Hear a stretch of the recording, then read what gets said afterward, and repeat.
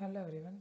Today we are going to create a 2D electro discharge machining model in Abaqus.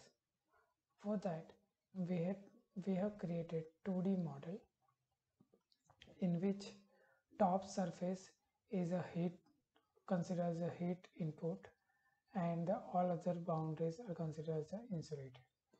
In top boundary we have convert uh, divided top boundary into two part. One is the uh, uniform heat source in the top left corner to some distance and the remaining top surface is considered as a convection heat transfer a convection heat transfer. So instead of uniform heat source we can also use the gaussian heat source profile and various other heat source profile. That is depending upon your requirement. So currently I have considered the uniform heat source and initially I have considered the uniform temperature of 300 Kelvin. So Abaqus is basically solving the heat conduction equation. Uh, so this is a, a, conductivity K and this is a governing equation in X and Y direction.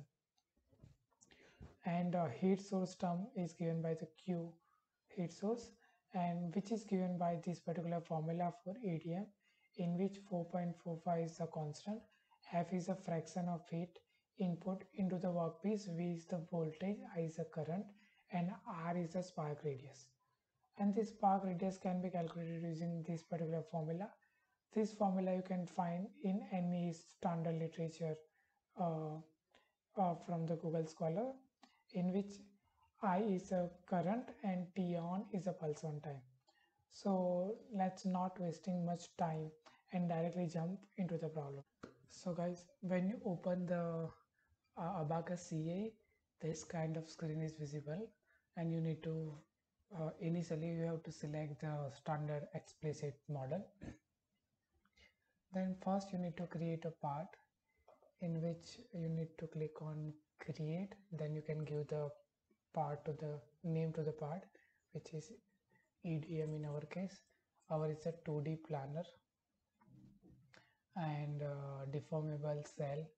Approximate domain size is 0 0.02 which is 200 sorry yeah this is fine I think. Now we can give the dimension to different region. So our spark radius is 50 micron so 50 e minus 6 is a spark radius. This is in x first dimension is 0 comma 0 second is uh, 50 micron. So in x direction so 50 e minus 6 comma 0 then third dimension is 250 e minus 6 comma 0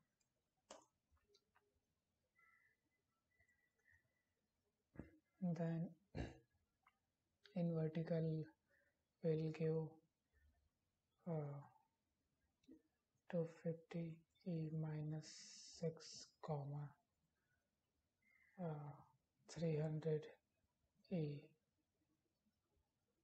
minus 6 which is in downward direction. So it's minus. Then you just need to complete the rectangle once you create a domain just click on this cancel and click on done. Hmm. So now your domain is ready. Then next part is to define property. So you need to go to material manager create. So in this problem we are going to use silicon. So i need to write silicon over here and it's different property. So you can also use the temperature dependent density but for the time being I'm use uh, independent of temperature. So 2329 is the density of uh, silicon. Then elasticity Young modulus is 150 E9 gigapascal and Poisson is 0.27 then next thing is a thermal conductivity we are going to use temperature dependent thermal conductivity and here is the value. So total we have 45 value of thermal conductivity. So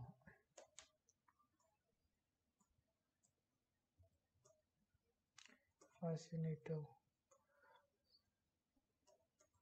create 45 different rows in order to insert the property.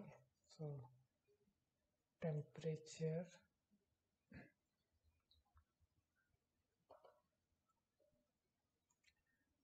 then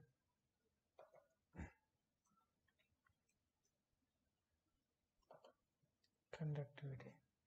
Similarly we can also insert the uh, temperature dependent property for the specific heat. So in our case we have a six value of specific heat. So let me enter that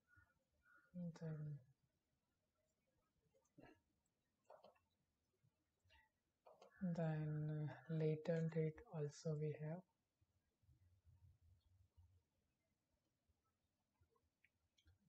Which is 1805357 solidus temperature is 1550 and liquidus is 1673 kelvin yeah i think this is enough for the property then you also need to create a section. So this in our case solid homogeneous is the section. Uh, we can also give the plane strain if you want or plane stress condition. You can give the thickness of uh, this body but I'm not going to give that. Click on OK then dismiss. Now we have two different things I we have one set of property we have one section. Now we assign that particular property to that particular section. So this is our section and this silicon is a property. So i'm assigning that property to that section. So now uh, the color is changed. So it is confirmed that the property is assigned to the particular section. Next step is assembly.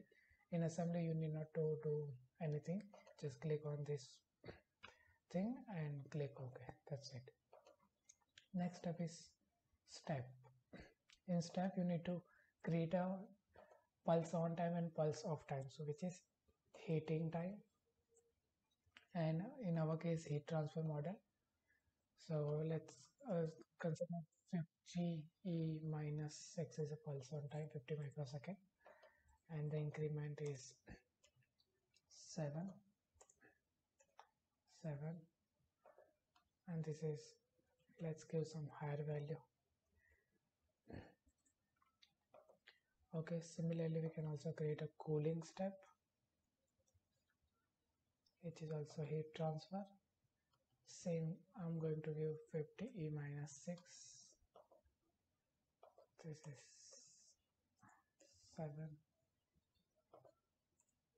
7 this is 200 this is some higher value.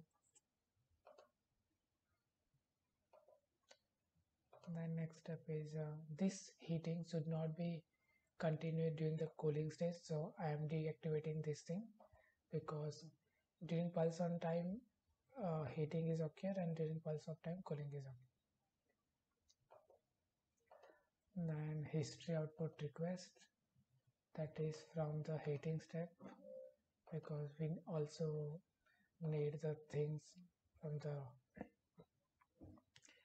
uh, starting of the simulation. So currently I have selected all the things but you can select appropriately what is your requirement accordingly. So I want to know the uh, uh, different heat flux I, I want to know the heat flux temperature during heating and cooling steps. So I also continued propagated during cooling step then we need to go to interaction. Then in interaction we require a convection heat transfer. So surface film condition continue and select this top boundary. So this is a force convection in liquid. So this is 10,000 and sink temperature is 300 this is convection heat transfer coefficient. And this need to be propagated during cooling step also so you can continue this. Then interaction property manager. Uh, I think it's not required. And let me check.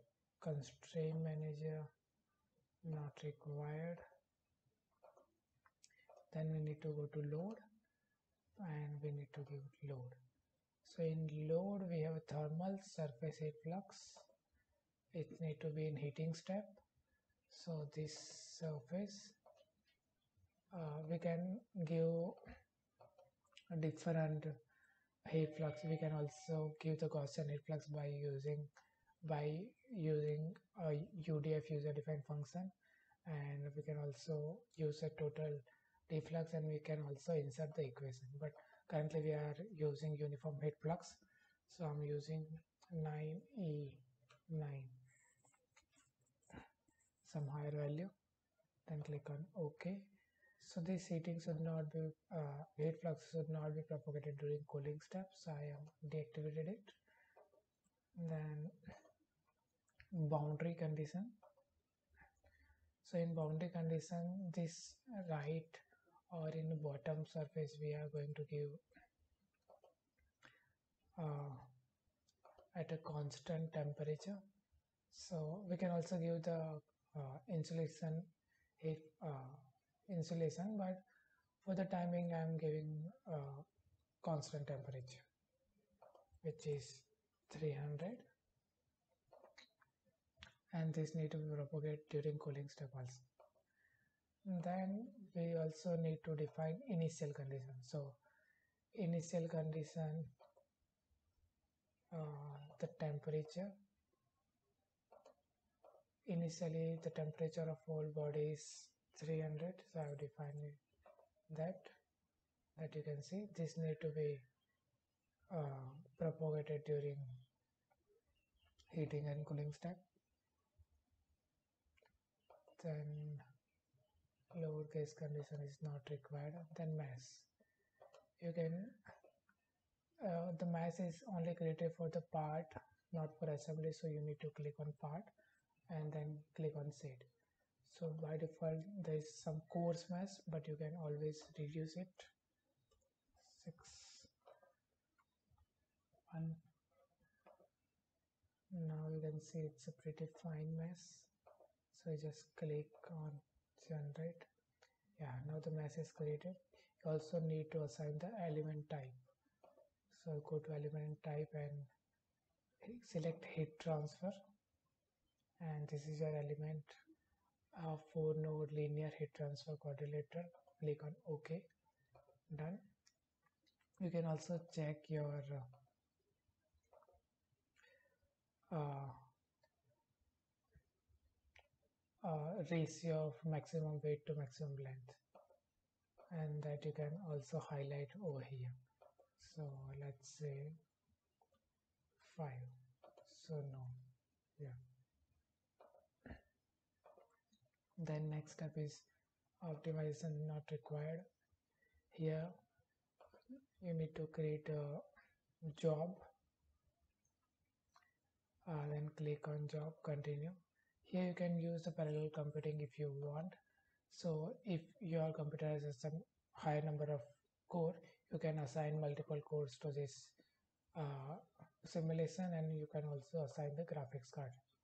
Then uh, there is multiple processing mode is also there. Default thread in MPI but for the timing I am going to use default only. Then click on OK. Now we have to save this model. First we need to set the working directory. This is f a second. And save the file which is th third okay just first you need to click on write input click on ok continue. Then you can also click on data check or you can directly submit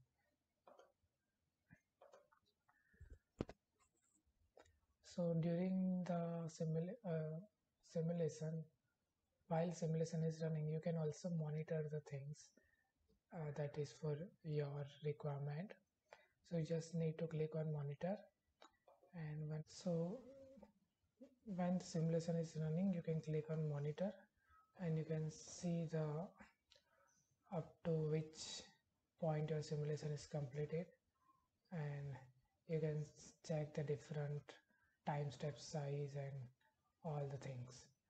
So once your simulation is completed you just need to click on results and you can see the different output. So here this is the gradient.